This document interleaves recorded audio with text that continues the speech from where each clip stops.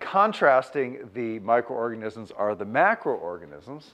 So the microorganisms, although they're not all like this, tend to be small and they tend to be unicellular, so you often have just a single cell. Um, but in fact, most big things go through a small phase. And in fact, we're, we're learning about uh, life cycles this week uh, in lab.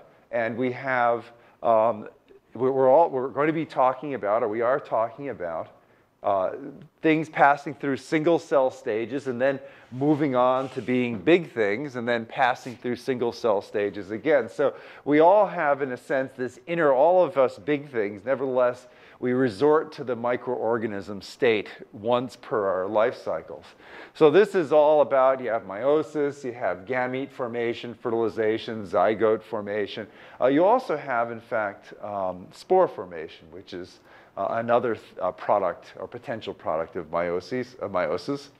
And then once you're at the single cell stage, you go through mitosis, you go through growth, development, you learn, you survive, and eventually you reproduce, and what you ultimately make are large things that typically are, are multicellular.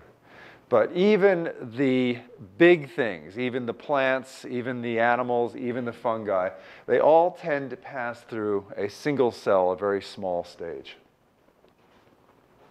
Now, they're not considered to be microorganisms because as adults at their reproductive stage, they're big, whereas the microorganisms when they're ready to reproduce, they're still tiny.